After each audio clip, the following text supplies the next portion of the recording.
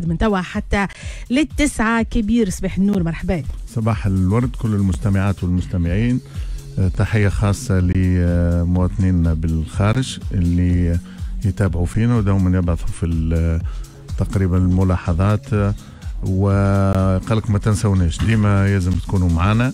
وعندهم اهتمام بالحق حقيقي بما يجري في البلاد ورغبة في مساعدة البلاد. طبعا تحية لكل متابعينا في المغرب العربي والمشرق العربي وإن شاء الله تونس خير. تحية اليوم حكيم صباح النور. صباح النور صباح الفل سماح. صباح الخير على bonjour يا حكيم. اللي فينا الكل. bonjour. مرحبا بك حكيم المشاغب طبعا موجود في الاستوديو. نمشيو tout de suite ل l'arrière-plan arrière-plan arrière-plan تكتيك قيس سعيد. هكا يعني آه آه إيه التكتيك أي الاتصالي نعتبره الطريقة الخاصه الاتصالية اللي تثير كثير من الأسئلة. آه الرئيس تقريبا آه، تكفل وحده باختيار الجواب والرد على خصومه السياسيين وعلى المشهد بصفة عامة.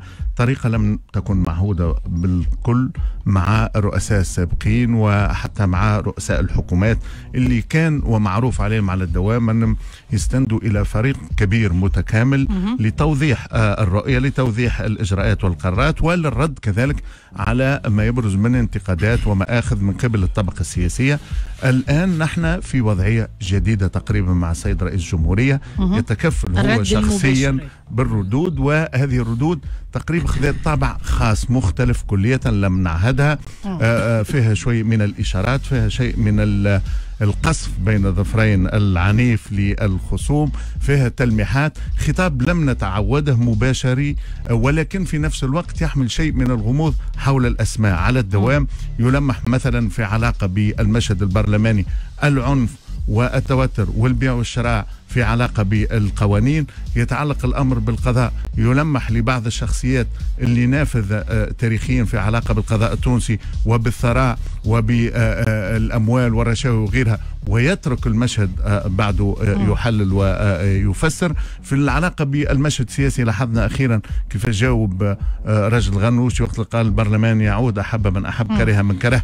تحدث هو عن مسألة شرعية هؤلاء كنواب وعلاقتهم be بالعقود نتاع اللوبينج والرشاوي وغيرها والمنظومه السياسية الفاسدة. جاوب كذلك آه، بعض القوى الأخرى كالتيار الديمقراطي وغيره يقول أنا لست منكم وأن هؤلاء يأيدوا وقت اللي عندهم منافذ للتمكين والحصول على مواقع يرفضوا وقت اللي آه، آه، ما يلقاوش هذه المناصب والمواقع ولكن لا يسميهم مباشرة ويقوم بتحويل أنا في اعتقادي دوما وجهة النقاش اللي تقريبا حصلت فيه معظم المتابعين والمشهد السياسي يخرجوا من الموضوع يمشوا في اتجاه اليومين كذلك.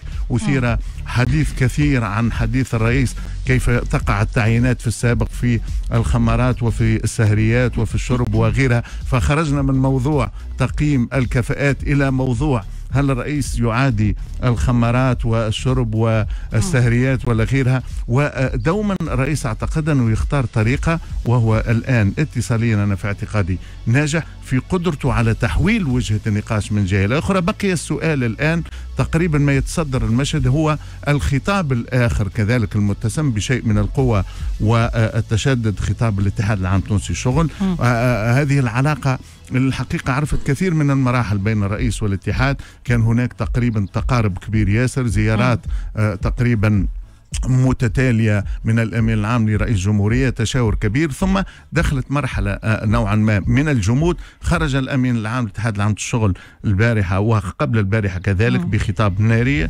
نعتبروه اعتبر الرئيس منغلق على نفسه. والرئيس يطرح مشروع قال الأمين العام نحن لن نقبل به. وقال أن هذه الطريقة اللي هي معدومة في علاقة بالتشاور آه، آه، مع الاتحاد ومع بقية مكونات المشهد وقال اللي, اللي سموه اليوم اللاءات الثلاث. أي هم يعتبروها لا للتنسيقيات لا للغموض ولا لديمقراطية دون أحزاب. في المقابل ما لاحظناه أنه كل ما صدر عن الاتحاد من انتقادات في آه، آه، اتجاه رئيس الجمهورية لم يبدي الرئيس ولو مرة ملاحظة في هذا الشأن أو رد مباشر على الاتحاد. تقريب كل خصومه السياسيين كل آه، منتقديه عرف كيف يرد عليهم بتحويل كما قلت لك أنا كقراءة للمسألة الاتصالية وجهة النقاش. لكن لم نرى الرئيس آه، يعني يجيب الاتحاد في أي مرة من المرات. هل هو يتوخى تكتيك في التعامل مع الاتحاد أو هو تقدير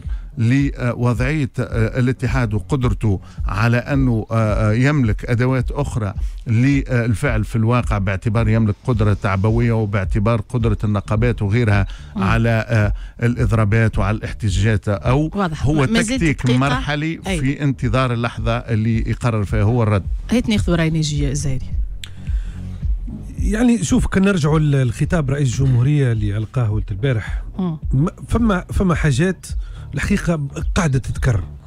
هو أنه ديما يوجه اصابع الاتهام إلى خصومه الخصوم هذوما اللي قعدوا معناها خصوم غامضين إلى حد الآن ما نعرفوش شكون.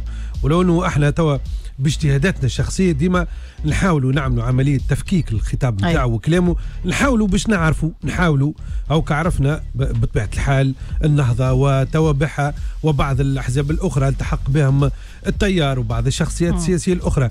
لكن هل عملية التقسيم هذه اللي حقيقة معناها غير مقبولة؟